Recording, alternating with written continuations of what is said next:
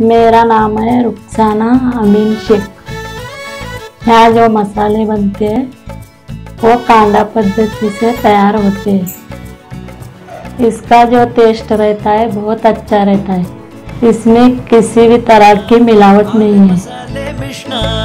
मिश्रा मसाले आम्ही जपतो स्वाद आणि मन दोन्ही. आले मसाले मिश्ना.